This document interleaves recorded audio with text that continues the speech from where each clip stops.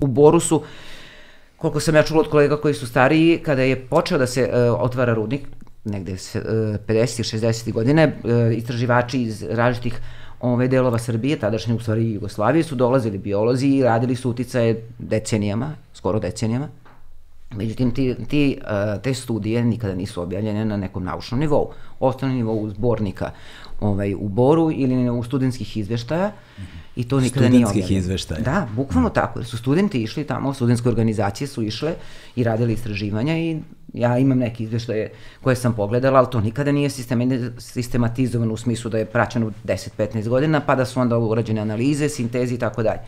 Tako da, da taj region je još nešto i postojalo i nikad nije objavljen u smislu naučnih radova koji mogu da se porede sa drugim ovaj, regionima. Kada je u pitanju ostali delove Srbije, gotovo da nemate istraživanja nigde. Ima pojedini rečni tokovi se rade sa, sa aspekta diverziteta ili su rađeni, da kažem, dugoročnije, mm. ali, na primjer, ako pomenemo upravo severozapadnu Srbiju, odnosno ovaj, eh, Jadar, prva istraživanja za koje ja znam da su bila koliko toliko sistematizovana, odnosno intenzivnija su pet dana prošle godine kada su kolege sa biološkog fakulteta ovaj, Koliko dobile, dana? Pet dana? Pet terenskih dana. Pete, to, del, to delo je potpuno besmisleno. Mislim, da. ko, ajde ovako, koji je uh, period neophodan za terensko istraživanje da bi se napravilo, do, došlo do valjenih rezultata, pretpostavljam. Ja bih rekao, ne znam, godinu dana, na primjer. Ne, to je minimum. sigurno, minimum, minimum. I to zavisi od grupe do grupe. Neke grupe koje imaju, da kažem, životni ciklus takav da su aktivni u toku leta ili proleća, znači morate zahvatiti sve fenofaze, takozvane, odnosno svo vreme aktivnosti. Minimum je godinu dana i to ajde, zbog nekih organizama još od februara meseca, nekad i do novembra meseca za, za ribe, ukoliko je pitanju riblji fond, onda mora i preko zime zbog, zbog mrestilišta i tako dalje. Tako da minimum jedna godina je samo da, što bi se rekao prvi, ona screening, što bi, znači samo da vidite čega ne, nešto samo ima. Samo da se opiše krug oko stvari. Bukvalno, znači samo šta, šta ima na tom lokalitetu, a ni, ni, ni u kom slučaju ni kakva je stanje populacija, koja je brojnost, faktore ugrožavanja, a u merama zaštite da ne govorimo. Znači samo da kažete, ej, to, to, toga ima tu ili nema, ništa više. Minimum Mislim, godinu dana. Šta su onda ovi uradili za pet dana? E, pa praktički ništa. Mislim, koji je to broj ljudi, šta su radili i ko uopšte pristaje da radi tako nešto na roku od 5 dana? E, pa to su bili poprilično, ja nisam uključen u taj projekat iz određenih razloga koje su samo moje, ali e, moje kolege, vrlo dobre kolege koje sa, sa mnom rade, su mi rekli da to su bili izuzetno teški pregovori e, sa kompanijom Rio Tinto, zato što su oni tražili da se uradi praktički samo analiza e, podataka iz literature. U ovom slučaju je sreće što u literaturi ne postoje istraživanja, odnosno ne postoje rezultati, pa niste mogli da se pozovete na neku, pošto ti je to jedan regiona u Srbiji koji još je najslabije istraženi da. što se tiče biodiverziteta, i onda su, je to bio u stvari argument da dobiju i tih 5 dana. I to nije, nisu krenuli uh, kad je trebalo, na primer za većinu grupa organizama, to je april mesec već, nego je većina kolega mogla da ide tek od juna meseca prošle godine. I znači uhvatili su samo jedan deo, znači aktivnosti životinje nisu mogli, i biljaka, i nisu mogli da konstatuju po, po nekim procenama, ja mislim da je diverzitet tamo koji je konstatovan za tih 5 dana, možda, ajde kažem, do polovine onoga što, onoga što bi moglo da, da, da živi tamo. To mislim pre svega na grupe beskičminjaka, koje naravno nisu uhvaćene određenim fazama, i biljaka i tako dalje, vi ne možete, to je poprično veliko područje, ne možete za 5 dana da, da čak ni da samo prepešačite taj region, a kamoli da uh, hvatate organizme, da postavljate klopke, klopke i tako dalje. Tako da je to minimum minimum. I naravno da su rezultati, mislim, niko od nas ne bi stao iza pisanja takvog rada, zato što to nije naučno, e, zasnovano na naučno, ajde da kažem, sistematizovanom e, i standardizovanom radu. Znači, kako su vam dali, toliko ste išli. I ljudi su i rekli da se ograđuju tog e, ovaj, izveštaja, zbog toga što nismo imali dovoljno vremena. E sad, ako bi se dalo normalno, znači dve, tri godine da se izra, radi izveštaj, to bi za Rio Tinto po svak, svakoj proceni bilo još gore, zato što ako vam daju dve godine da istražujete, sigurno sam da možda se nađe još jako značajnih vrsta. Da. Pa, ja se sad uključujem u ovu vrlo zanimljivu temu.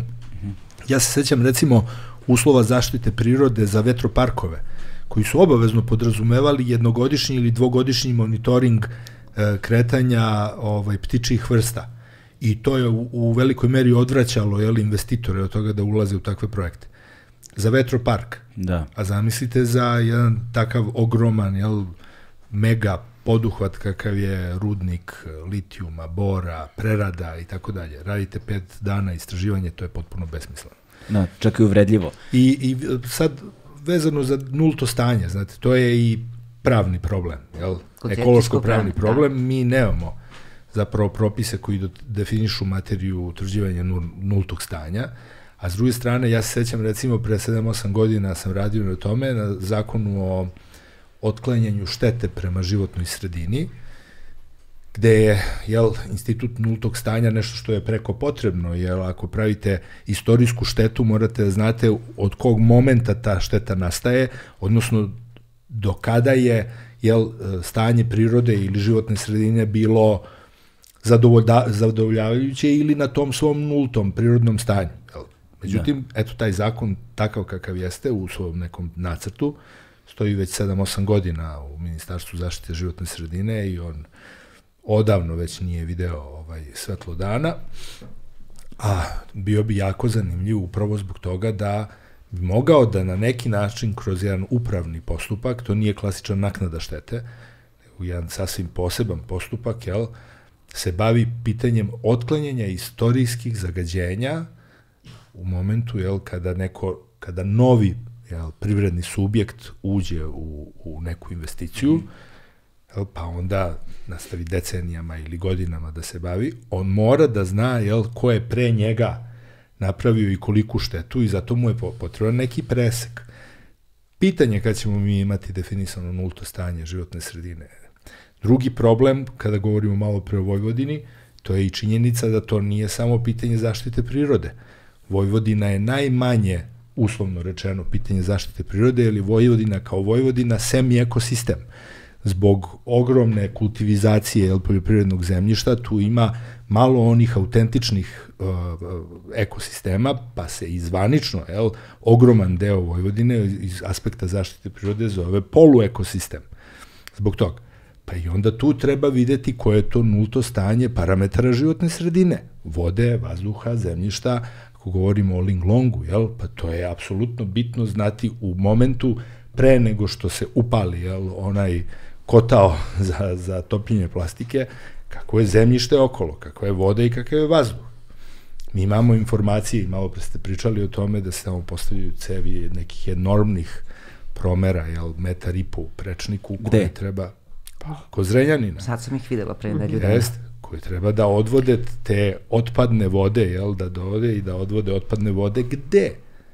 Tamo gde mhm. treba da odvode otpadne vode, tu na tom izlazu sada treba uzeti uzorak jel, vode, pa videti kako je kvaliteta voda ne samo po opštim parametrima, nego specifičnim, onim koje, koji bi trebali da izlaze kao produkt proizvodnje iz te kompanije. To, nažalost, nije sve tako dobro rešeno propisima. Mi imamo podzakon, brojne podzakonske akte o graničnim vrednostima emisija ovoga, onoga, jel, e, e, e, raz, različitih materija, jel, kako i u vazduhu, tako i u vodi, u zemljištu, ali Dragana je ukazala na samom početku. Mi suštinski još uvek ne merimo ono što je najopasnije. Tako je. Jel?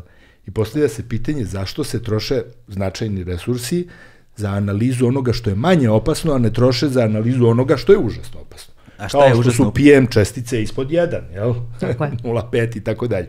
Jel, kao što je ona rekla, da, eto da ponovim, jel? Tu je substrat najopasnijih materija koje najlakše prodiru u naš organizam.